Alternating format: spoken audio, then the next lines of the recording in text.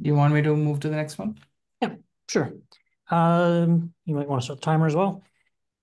The problem we're trying to address is that trying to run the entire Sonic management test run can take a very long time depending upon your SKU and topology, ranging from you know 12 hours on the short side to nearly 72 on some of the larger uh, modular DUTs.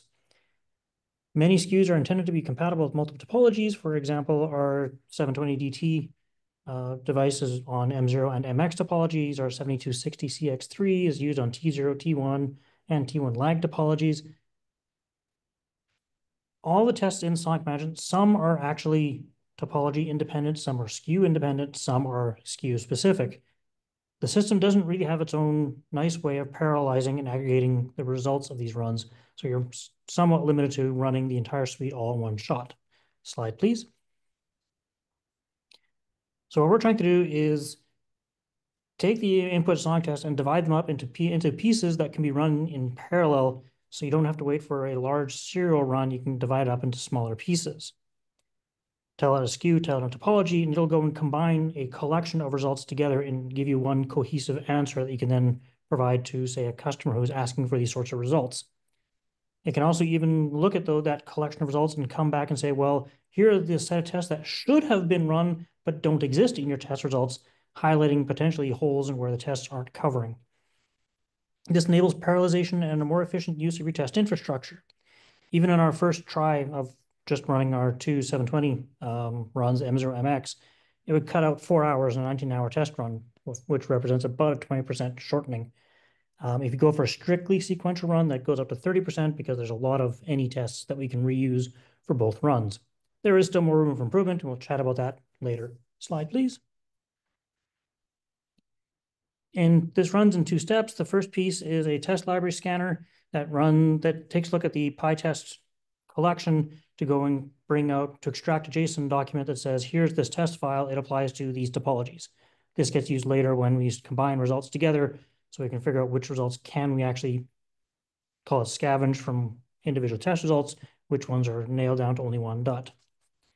Uh, slide, please. Uh, second stage is grabbing the log directories from your Sonic management runs, providing it to the consolidation script along with that previous mentioned JSON file and which topology you want, and it'll come out and emit a co cohesive single run that would look like what a what a uh, serial run would look like. Comes out to a new compressed tar file, which you can then use whatever other tools you may already have for processing your test runs to analyze your pass rates and where areas you may need to pay attention to. It also contains that extra text file of there are these tests that didn't run in any of the ones you provided me. Slide, please. So as a, a, more specific example, a complete run on the 720 DT48S took 19 hours for a single run on the MX topology, 24 and a half on the M0 topology. These two could be running in parallel or possibly serially, depending on how much hardware you have. Looking at these test runs, splitting those into, say, take one run, which is only running the any tests, and then on that second DUT, if you already had to, could run the M0 stuff specifically and the MX stuff exclusively. And if you know and tie those two times together, now your 19 hour run on the MX drops to 15 hours because it's bounded by the any tests. Of course, if you want to get even more energetic and if you have more DUTs, you could even divide the any tests in half and continue. And as you throw more hardware at it, you can get shorter and shorter total run times, yet still get effective test result outputs. Slide, please. So applying the same technique, mentioned about the four hours in the MX run, saves up to eight hours in the M0 run. Further savings can even be realized if one considers that the number tests are not even SKU dependent. So I could possibly take some of those 720 DT results and apply it to a 7260 CX3 DUT topology so that I don't have to keep rerun. Basically, I don't have to keep rerunning those any tests everywhere, at least not necessarily. So I could save on larger uh, test sequences, like for us, for the vendors, where we have multiple DUTs we need to test against, this could be useful. Slide, please. As I had mentioned, and I'm shortly running out of time, it mentions the which tests are missing. In my particular example, some of those tests we actually expected because we were specifically excluding them ourselves, but it's nice to show that it highlights, hey, you've missed this test. Slide, please. Um, things to improve in future work. Right now, it works on the test file level. We can take it down to test cases. Um, some of the, it can actually identify entire test files that get skipped on your platform, so it doesn't have to run them at all. What do we do with stitching the tests? And we could get better or more refined test classification.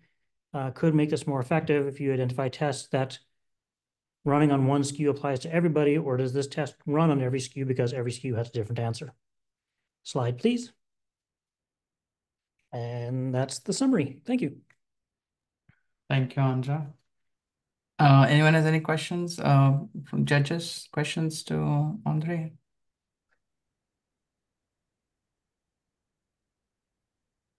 All right. Uh, I thank you think it's so- actually, I think it's a, actually a, a, a very good idea. So um, I I wonder um, the stitching. I mean, if we have multiple test bed uh, available, have have you considered stitching the test bed to optimize further? What do you mean by stitching the test beds? Um, meaning, you know, um, can we can we have the test? I mean, because here we're considering single test bed, right? As Resources test- pool. As in a test bed, you're talking about a single DUT plus a test server? That's right. Uh, the intent actually is, and we do you know, in-house ourselves, is that we have a number of DUTs and test bed test servers that we hook up together on our own in, internal test infrastructure. And yeah, you pull the results from multiple test beds and tie them together.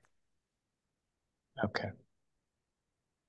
I mean, Now this the wrinkle comes, are you yeah. running on a consistent sonic image so that the results are can be intelligently bond bonded together? But that information is in the test results, so we can actually verify that you are giving it a uh, consistent set of tested sonic images. All right. the scheme just provides the framework for doing all these kinds of things. That's the bottom line, right? Yeah, you you have more flexibility when you apply the scheme. You can either serialize and save runs, or you can parallelize and you know speed up. All of those options are possible. Hey, um, Kartik, quick question. Are you guys uh, upstreaming any of these changes to the um, basic test uh, strategy in Community Sonic? Uh, that is a that is a proposed step.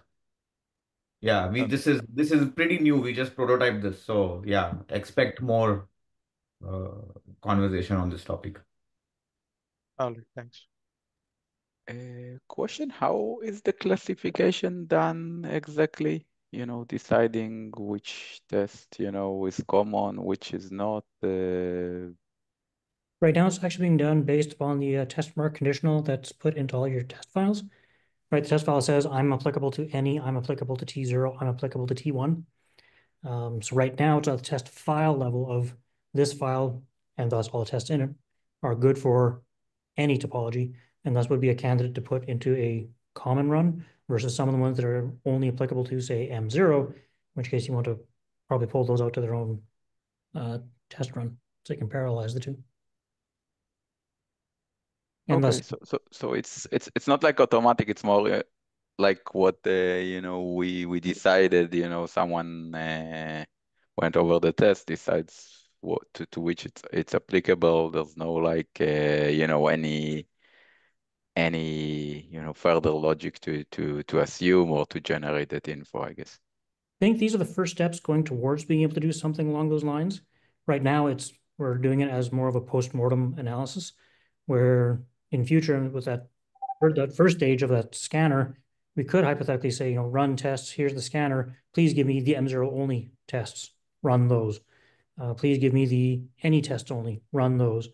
Um, so I think that's something that could be worked into run tests.py directly. Thanks.